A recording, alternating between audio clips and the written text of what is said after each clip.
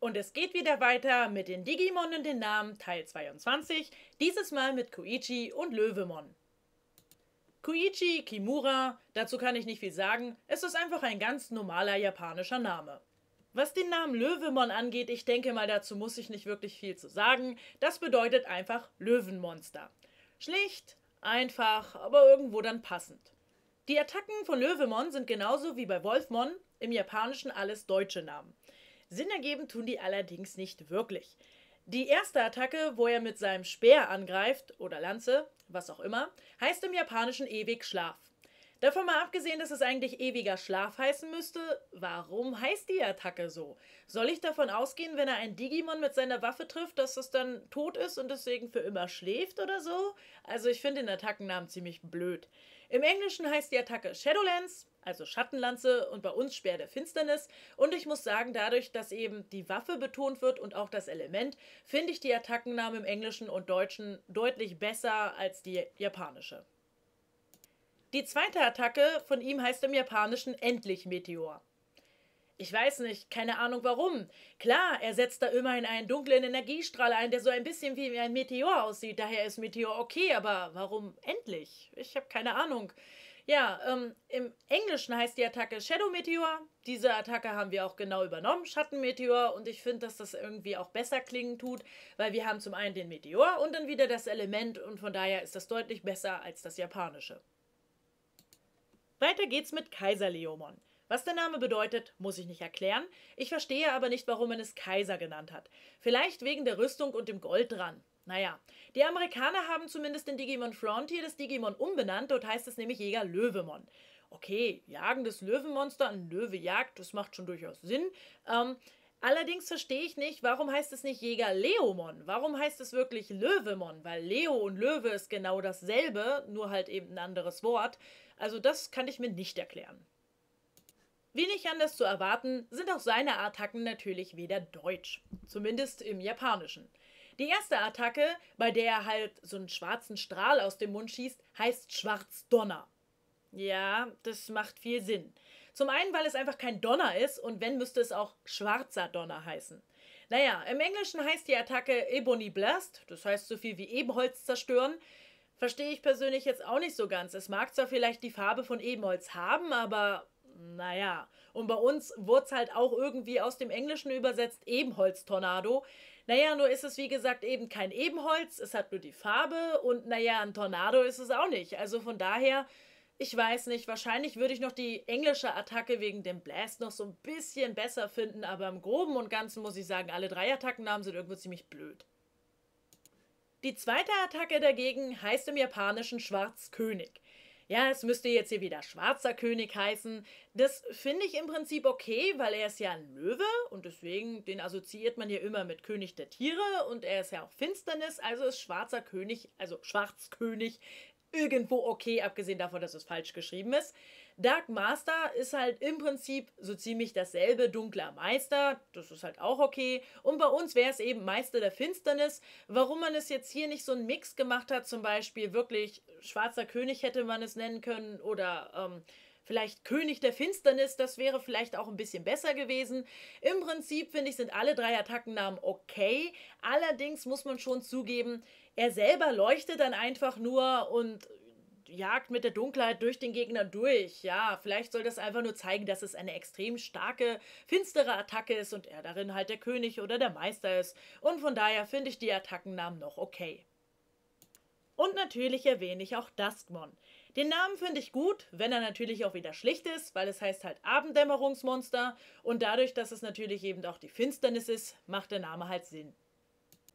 Die erste Attacke von Duskmon heißt im Japanischen Geistabend. Abgesehen davon, dass es wieder Geistherabend heißen müsste, ähm, das ist die Attacke, bei der er so einen Hitzestrahl aus seinen Augen schießt. Daher finde ich Geistabend irgendwie total bescheuert. Im Englischen heißt die Attacke Deadly Gaze, tödlicher Blick. Nun ja, nun, ähm, er ist die Finsternis und sieht jetzt nicht gerade freundlich aus und es ist ein Blick und von daher finde ich den Attackennamen gar nicht mal so schlecht. Bei uns dagegen heißt es sengende Augäpfel. Ja nun, es ist nun mal ein Hitzestrahl, also zumindest sieht der so aus, ob er sich jetzt heiß anfühlt, kann ich nicht beurteilen. Ähm, und es sind Augäpfel, daher finde ich die Attacke vom Namen her besser als den japanischen. Hier muss ich aber wirklich sagen, finde ich dann doch am passendsten den englischen Attackennamen. Die zweite Attacke, das ist die, wo er halt diese roten Schwerter hat und einmal dreht er dann so seine Arme herum und greift dann eben den Gegner an, heißt im Japanischen schlicht Eroberung. Ja gut, okay, vielleicht meinen sie, dass die Attacke so mächtig ist und dass man auch, dass er damit auf jeden Fall jeden besiegt, aber seien wir mal ehrlich, das klingt ziemlich öde. Im Englischen heißt die Attacke Lunarplasma, also sowas wie Mondplasma. Finde ich jetzt persönlich auch nicht gerade überragend. Vor allen Dingen, was hat das mit dem Mond zu tun? Klar, vielleicht weil es wegen Abend ist und weil es ein finsteres Digimon ist, aber nee. Bei uns wiederum heißt es Strudel der Finsternis. Naja, nun, wir haben zwar jetzt hier gezielt keinen Strudel, aber wenn man bedenkt, dass er die Arme ja einmal so im Kreis bewegt, könnte man natürlich so ein bisschen an einen Strudel denken und er ist die Finsternis und von daher, ich bin zwar kein Fan von einer der Attackennamen, finde hier aber die deutsche dann doch noch am besten gelungen. Und zuletzt komme ich noch zu Velgremon, was eigentlich Velgremon heißt, also V-E-L-G-R, nicht noch ein zusätzliches E. Das hört sich aber komisch an, spricht sich auch komisch, deswegen ich nenne es mal weiter beim Dub-Namen Velgremon. Ähm, und das basiert eigentlich auf einem riesigen Adler aus der nordischen Mythologie, dessen Namen ich nicht aussprechen kann, da ich diese Sprache nicht beherrsche und ich möchte es ungern falsch aussprechen. Deswegen findet ihr in der Beschreibung den Namen. Und ich finde halt, dass es teilweise schon cool ist, dass man Velgremon so benannt hat, weil dieser Adler in der nordischen Mythologie die Unterwelt bewacht, zusammen mit diesem Wolf Garm. Und Kendo Garurumon heißt ja im japanischen Garmon und da ist dann natürlich die Verbindung zwischen den beiden Digimon gegeben. Was ich wiederum ein bisschen unpassend finde, ist, dass Velgremon für mich überhaupt nicht wie ein Adler aussieht, sondern eher wie sowas wie eine knochige Krähe oder so. Bei seiner ersten Attacke zieht Velgremon mit seinem Flügel halt ein kreisförmiges Gebiet. Und alles, was sich in diesem Kreis befindet, das wird gelöscht. Daher finde ich den japanischen Attackennamen Zonendeliter eigentlich okay, weil Zone gelöscht. Da bleibt ja auch nicht mehr viel übrig. Die Attacke heißt im Englischen Dark Obliteration und ich muss sagen, dunkle Auslöschung finde ich auch okay. Weil, naja, dunkel, wieder wegen dem Element und wie gesagt, das Gebiet wird ausgelöscht. In unserem Falle heißt die Attacke aber Inferno der Finsternis und das finde ich irgendwie ein bisschen dämlich. Finsternis finde ich zwar okay, aber ein Inferno würde ich das jetzt nicht nennen. Also ich verstehe nicht, warum man hier mal wieder irgend so ein Wort gewählt hat, was vielleicht cool klingen soll oder so, aber was eigentlich gar nicht richtig zu der Attacke passt. Also ich verstehe nicht, warum man hier nicht wirklich auch ähm, das Wort Auslöschung hätte nehmen können, zum Beispiel Auslöschung der Finsternis oder so. Das wäre, denke ich, doch ganz passend gewesen. Also hier bin ich dann wirklich eher für den japanischen und den englischen Attackennamen. Bei der zweiten Attacke verschießt Velgremon aus seinen Augen so einen roten Laserstrahl, der die Form von Wirbeln hat. Die Attacke heißt im Japanischen Master of Darkness, also Meister der Dunkelheit, und ich finde, das passt nicht und soll irgendwie nur cool klingen. Im Englischen heißt die Attacke Dark Vortex, also dunkler Wirbel. Das finde ich an dem Punkt in Ordnung. Der Wirbel, weil ich sagte ja, das sind ja so Kreise, so quasi kann man so sagen, und daher finde ich Wirbel in Ordnung. Und dunkel ist es zwar nicht, es ist rot, aber wenn man bedenkt, dass es die Finsternis ist, macht das durchaus Sinn.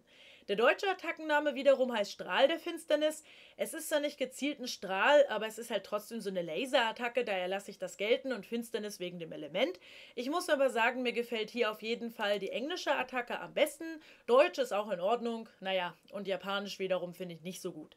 Nun seid ihr wieder dran. Was sagt ihr zu den Namen und den Attacken? Schreibt es mir wie immer in die Kommentare.